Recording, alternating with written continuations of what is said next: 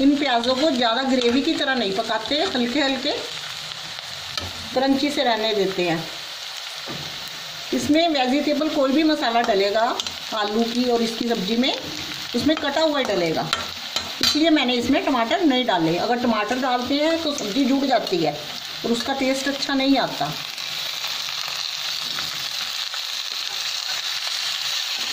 धोने के बाद सब्जियों में अच्छी तरह पानी निकाल लें ताकि सब्ज़ियाँ थोड़ी बहुत फ्राई हो जाए।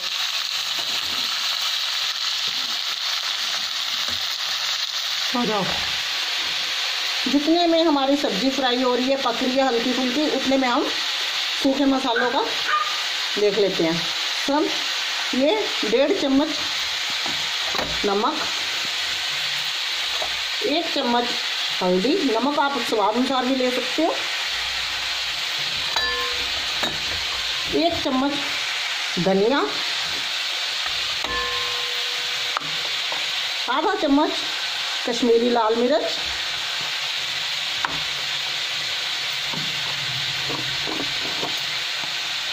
थोड़ा सा किचन किंग मसाला,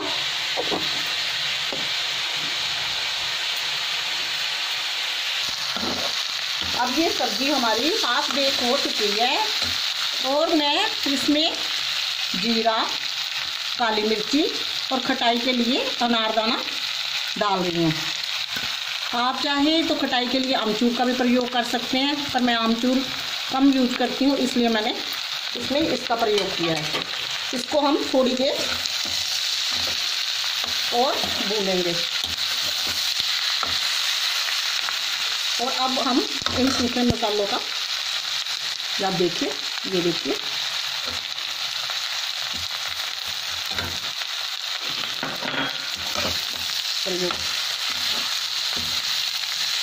फ्रेंड्स, आप देख रहे होंगे सब्ज़ी की रंग कितना अच्छा आया।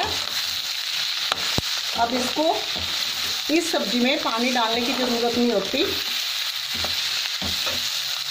ये ऐसे ही बन जाती है।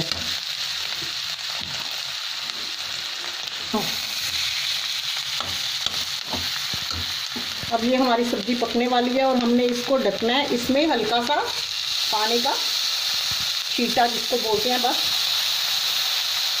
वही देना है।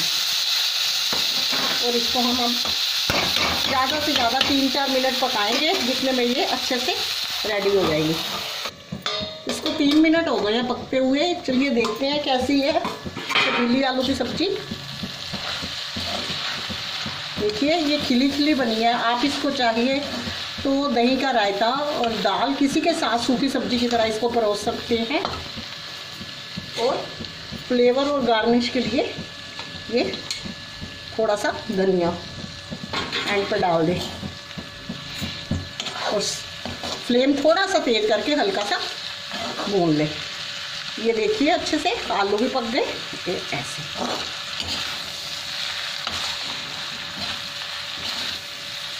फ्रेंड्स, मैंने खटाई के लिए अनारदाना डाला आप चाहें आमचूर और सब्ज़ी बनने के बाद नींबू का प्रयोग कर सकते हैं। मैं टमाटर नहीं डालती, क्योंकि टमाटर एक ग्रेवी की तरह जुड़ जाता है, जिससे सब्ज़ी खिली खिली नहीं बनती, जुड़ी जुड़ी बनती है और सर्व करने में भी अच्छी नहीं लगती और टेस्ट भी इतना अच्छा नहीं आता। ये बिल्कुल खाने पे आपको बीन्स आलू की सब्ज़ी की तरह लगती है। अब हमने फ्लेम बंद कर दिया, सब्ज़ी रेडी है।